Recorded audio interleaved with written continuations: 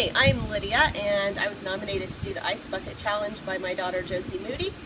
And I'm going to be donating $10 to ALS along with a few other charities from the local Indianapolis area that I like to support.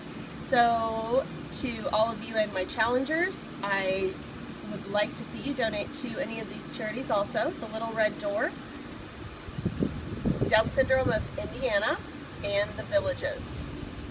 Stay tuned.